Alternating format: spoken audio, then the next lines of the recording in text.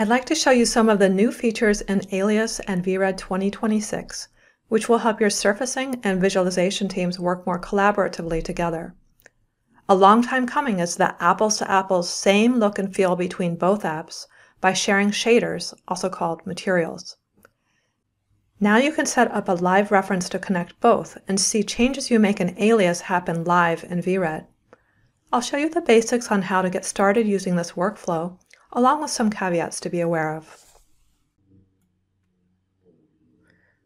So looking at this wire file, I have just the body and glass components to a vehicle, and I have alias shaders assigned to them. Looking at this red paint, I see there are only four different shading types to choose from. This is different than the materials you'll find available in the VRED library, which offer a lot more material types with more realistic attributes that go with them.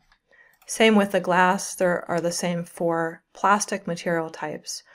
So if I look at how this saved file would look in VRED right now,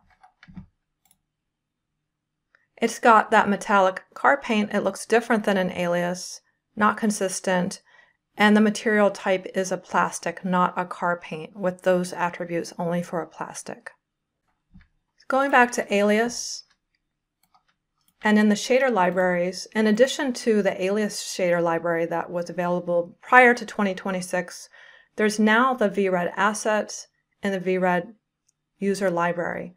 The assets are the ready-to-go VRED library materials that are categorized into different types like car paints and glasses and metals and so on.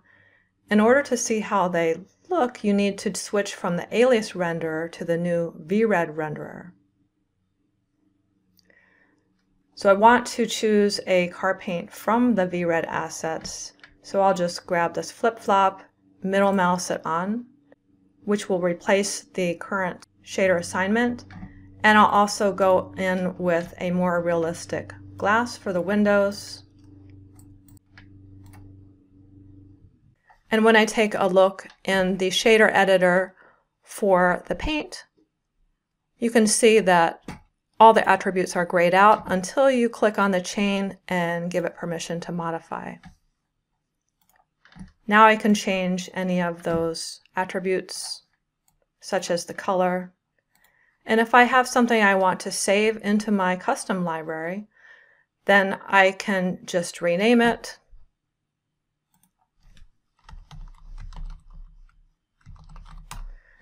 and then go to the VRED user library where I can create my own custom folders and just drag it right in there as a new material.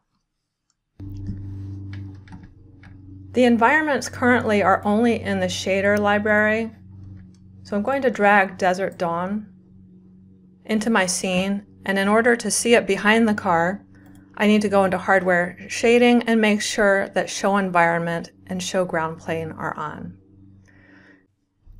So like the paint color, I'm going to pick my environment and I will drag it right into the environments folder under the VRED user library. No need for a subfolder.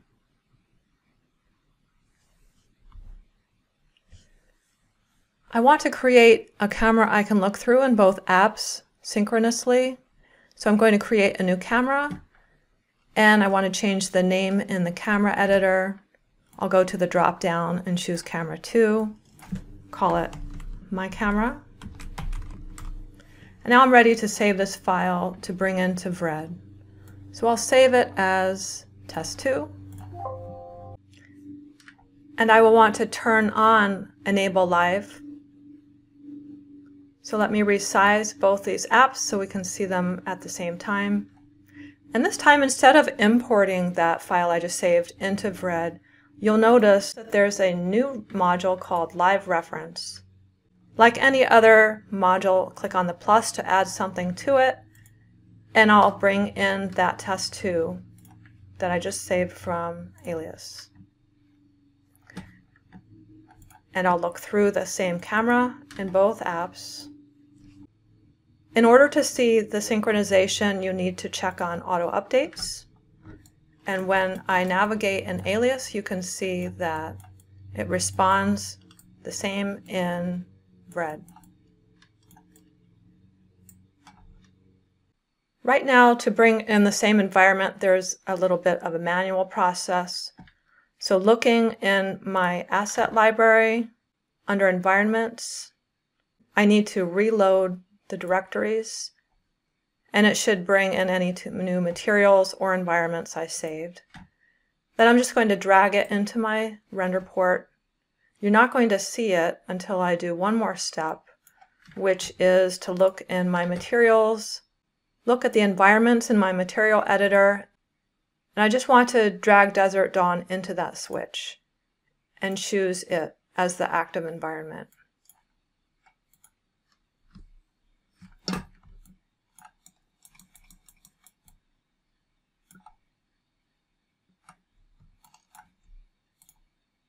In Alias, there's a new tool for modeling, and it's in the palette under Transform It's called Soft Prop Mod.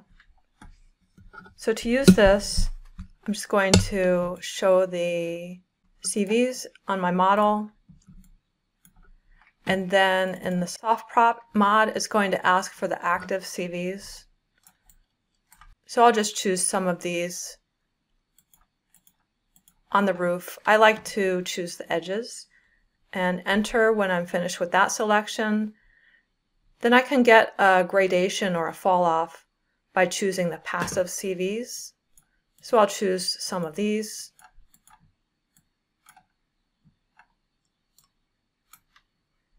Enter. And then as I transform them, you can see in VRED the updates live. So now it looks a, a bit now it looks a bit more like my RX-7 with a little bit of detail in the roof.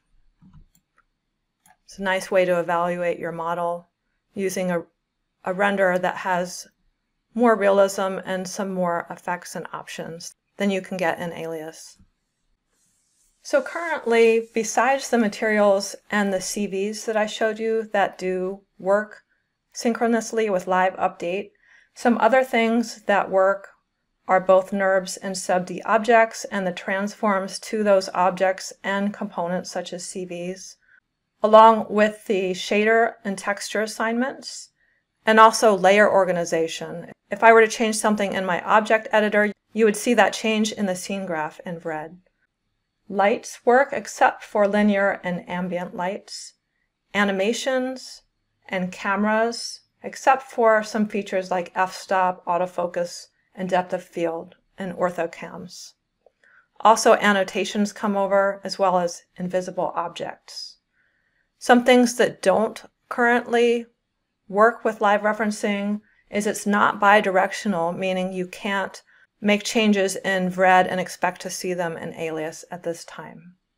Curves don't currently import, nor do variants or markups or canvases. You should also be aware that VRED always wins, meaning if I make changes in VRED, then they're going to stick with VRED, even if you try to make changes in alias, you won't see them live update. So for example, I'm going to change it to a different material and I'll just bring up my assets. Let's see some custom materials I've saved that you can see in both apps. And I'm just going to drag this on. So now if I go in VRED and try to change to a different material, going to my visualize workspace. And in my VRED assets,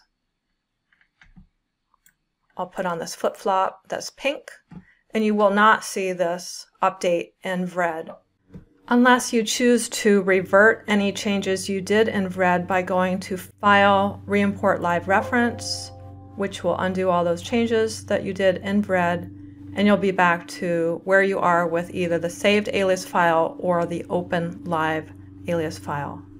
Here I have open a file in VRED that has a bunch of different components that are live referenced. In an alias, I have one of those components, which is the body one that's currently being live referenced. Theoretically, alias surfacers or designers can independently work on these components, and then it can be compiled into a VRED scene.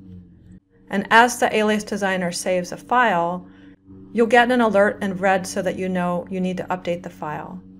And this is nice because you don't have to guess which surfaces to delete and which to add back in.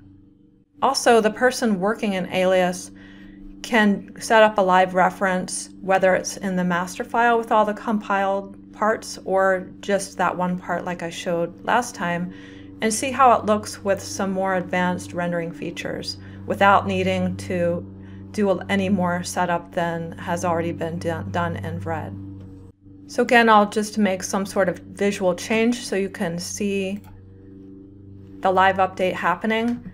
And if you disable that live update, the file in VRED will revert back to the way it was saved. So I'll just re-enable that live connection and we're live again. The files need to be saved in the same location and have the same names for this to work. But if you do move a file, so I'll take this body one and I'll move it into a different folder temporarily. Then you can see here that the connection has been broken and this component is now in red.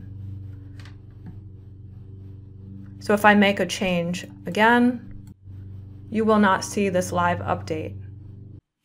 In the case that you do intentionally want to change the path or the file name, then you can reconnect it by going to File, Replace Live Source, and then navigate to where it lives.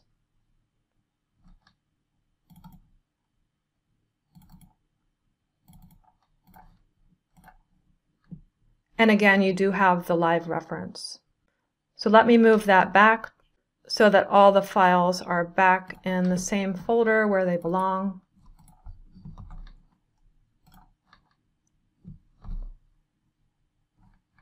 which is going to break the connection. So I can tell it where to find it again.